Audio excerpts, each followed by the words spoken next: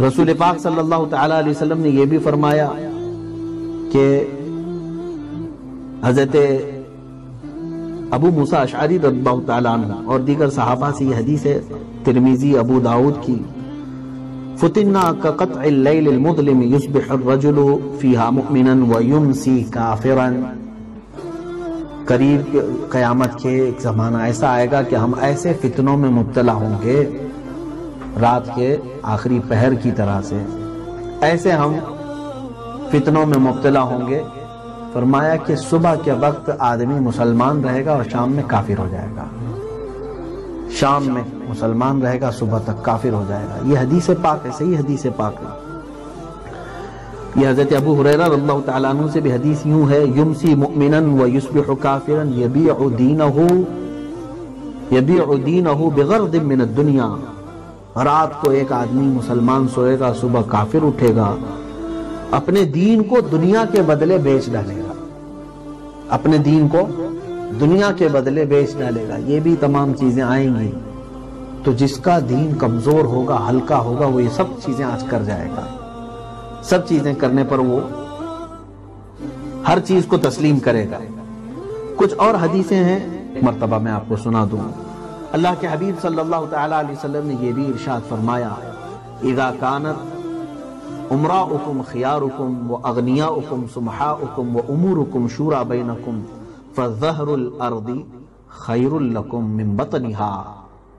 जब तुम्हारे अमीर जो तुम पर हुकूमत करते हैं वह अच्छों में से हों, और जब तुम्हारे मालदार सखी हों, और तुम्हारे आपस के मामला मशोरे से तय पाए मशोरा जाहिलों के नहीं, इल्म वालों के मशोरे से तय पाए तो समझ लो कि ये ज़मीन का ऊपर वाला हिस्सा तुम्हारे लिए बेहतर है, नीचे वाले हिस्से से। बात समझ में आ रही? तुम्हारा जीना उस वक्त खैर होगा। लेकिन हदीस का दूसरा टुकड़ा ये है वईदा कानत उमरा उकुम शिरार उकुम व अगनिया उकुम बुखला उकुम व उमूर उकुम इला निसा उकुम फतनुल अर्दी खैरुल्लकुम मिन जहरिहा। तो बतनुल अर्दी अर्दी खैरुल्लकुम मिन जहरिहा। तो फिर तुम समझ लो, जब तुम्हारे अमीर बुरे लोगों में से हों, तुम्हारे मालदार बकील हो जाएँ, तुम्हारे आपस के मामला औरतों से सुलझाए जाएँ, उनके हाथों में चले जाएँ, या फिर यूँ समझ लें, गलबा नफ्स हो, गलबा शहवत हो, उस एतबार से दीनी मामला और तय हो रहे हों तो तुम्हारे लिए ज़मीन का नीचे वाला हिस्सा, ऊपर वाले हिस्से से बेहतर है। यानी कबर तुम्हारे लिए ज़्यादा बेहतर है। ये एक हदीस पाक है। दूसरी और एक रसूल करीम सल्लल्लाहु अलैहि वसल्लम ने फरमाया कई फबिकुम इदा फसख फतियातुकुम फतियातुकुम व तगा निसाउकुम। अल्लाह के हबीब सल्लल्लाहु अलैहि वसल्लम ने फरमाया, वो जमाना कैसा होगा जब तुम्हारे घर में मौजूद औरतें फांसी को फाजिर हो जाएँगी, बेहया होने लगेंगी और तुम्हारी औरतें सरकश हो जाएँगी, तुम्हें छोड़कर बाहर निकल जाएँगी। ये बात क्या आज पाकिस्तान की उन सड़कों पर हमने नहीं देखा? जिन्होंने बैनर लेकर के निकल कर ये ऐलान किया, हमारा जिस्म, हमारी मर्ज़ी। ये मुखबिर सादिक सल्लल्लाहु अलैहि वसल्लम ने फरमाया, कैफ बिकुम तुम्हारे साथ क्या हाल होगा जब तुम्हारी घर की बच्चियाँ आवारा हो जाएँ? वो तगा निसा जब तुम्हारी औरतें सरकश हो जाएँगी, तुम्हारे हाथों में नहीं रहेंगी। अच्छा इस हदीस पाक में ये भी देखें, पूछा गया, साहबा ने पूछा क्या या रसूलुल्लाह सल्लल्लाहु अलैहि वसल्लम ऐसा हो सकता है? ऐसा होगा? तो जवाब में मेरे आका सल्लल्लाहु अलैहि वसल्लम ने फरमाया, नाम वो अशद नहीं, बल्कि इससे भी ज़्यादा सख्त होगा। हाँ ऐसा तो होगा, इससे भी ज़्यादा सख्त होगा। इससे ज़्यादा सख्त क्या होगा वो महसूस करें आप। फिर अल्लाह के हबीब सल्लल्लाहु अलैहि वसल्लम ने फरमाया, कैफ अंतुम इदालम तामुरु बिल मारूफ वलम तनहु अनिल मुनकरी? क्या हालात होंगे तुम्हारे उस वक्त? जब तुम किसी को अच्छाई का हुक्म नहीं दोगे और किसी को बुराई से नहीं रोकोगे तो तुम्हारे लिए कैसी कैसी हिलाकतें आएँगी? तो साहबा ने पूछा, या रसूल अल्लाह सल्लल्लाहु अलैहि वसल्लम, क्या ऐसा भी होगा? रसूल करीम सल्लल्लाहु अलैहि वसल्लम ने फरमाया हाँ इससे भी ज़्यादा सख्त होगा।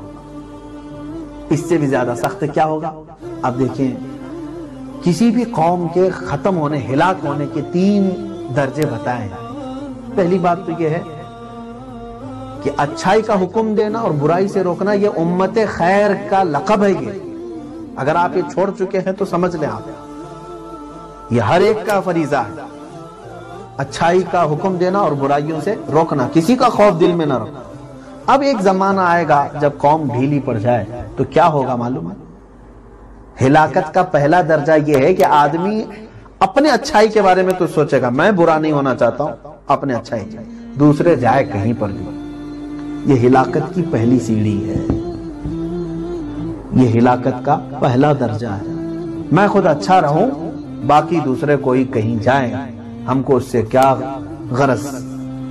क्योंकि उम्मत खैर इसलिए नहीं है तुम, कि तुम खुद अच्छे बनकर दूसरों को ऐसे ही छोड़ दो आवारा।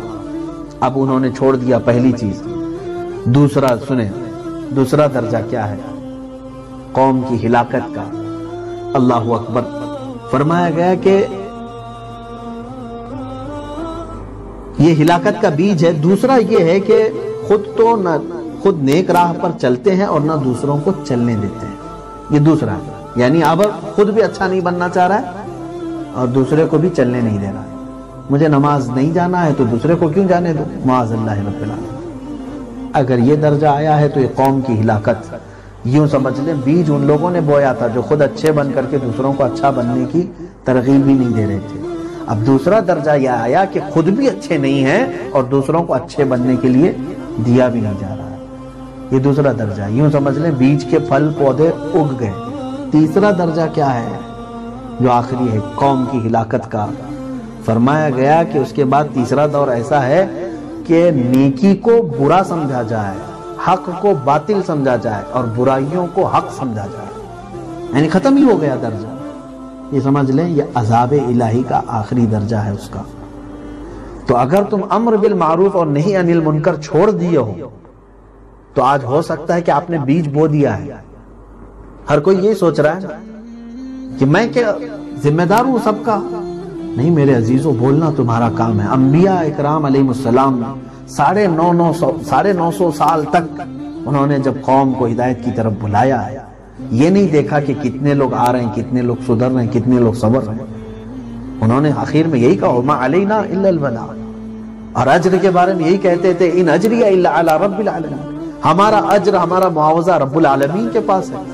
और रही बात तबलीग की तो हम पर सिर्फ़ पहुंचाना फ़र्ज़ है, अमल करना उनका काम है। तो पहुँचाने का काम क्यों बंद कर दिया आज सब दूसरे को खैर की दावत देना क्यों छोड़ दिया? आज मखसूस चंद लोग हैं। ओलमा के लिए खास कर दिया गया मुबलगिन के लिए खास कर लिया गया है।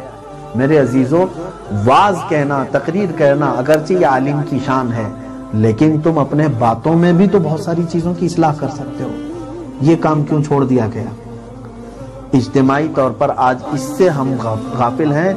गोया के हिलाकत के तीन दर्जों में से पहले दर्जे पर आज कौम आ चुकी और बीज बो लिया। इसके बाद वो लोग आएँगे जो खुद भी बुरे होंगे और दूसरों को बुराई पर चलने की तरगीब देंगे और कभी अच्छाई की तरफ़ उनको जाने नहीं देंगे। और फिर उसके बाद वो लोग आएँगे जो बुराइयों को नेकी समझ लिया करेंगे और नेकी को गुनाह समझ लेंगे। मुआजल्ला रबालमीन वो दौर से अल्लाह